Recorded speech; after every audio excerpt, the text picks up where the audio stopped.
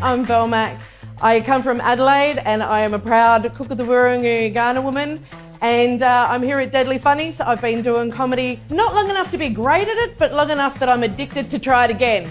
I am having a ball and giddy up. Thank you for having me here. I haven't had a holiday for frickin' three years. Yes! So I'm from Adelaide. I'm from Adelaide. I'm a single mum in Adelaide being a single mum is it's a bit of a, it's a bit of a thing, isn't it? Like single parents, you got the whole teaching thing, the learning thing, and that's just me. But you know, you keep them alive and all that fun stuff. But it's it's it's coming to a halfway point for me. It's really great because I'm a halfway empty nester.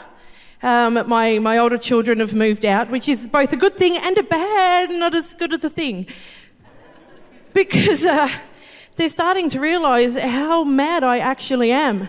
Uh, however, I've told them that I've uh, gotten them ready for real world relationships. But no, it's all good. I, I had some surgery. Um, it, was, it was great. Uh, I had a lift and a reduction. Um, but the problem is, being a single mum, you can't go and, and tell the children about this. You can't go and, you know, hey mum, so you know the DNA you gave me? Really liked it, but tweaked it a little. Check this out. so, uh, yeah, I, I, I, didn't do any of that. However, I, I contacted a friend around three months later and I said, I got some news. And she said, I know. I said, How do you know? She said, You did a group chat. Now, anesthesia is a funny thing, isn't it?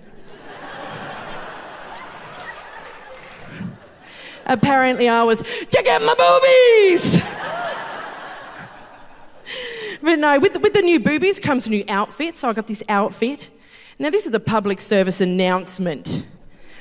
When getting ready in your sleek things, looking in the mirror, I'm going, damn, girl, you be cute. I was in it. Like, I was in it. I was there. I was committed. And then I changed the angle. you know what I'm saying. This way. yeah.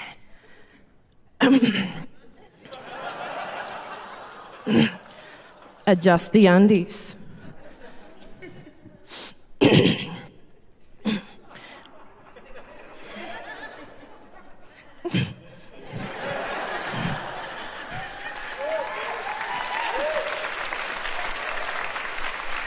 Just walk out. Find the angle you like, walk out, own that shit. Own that angle. I'm going to make up t-shirts, own the angle. But no, it's, it's, it's, it's, it's, a, it's a bit of a slog, you know, this whole MILF thing. Mothers I'd like to be friends with.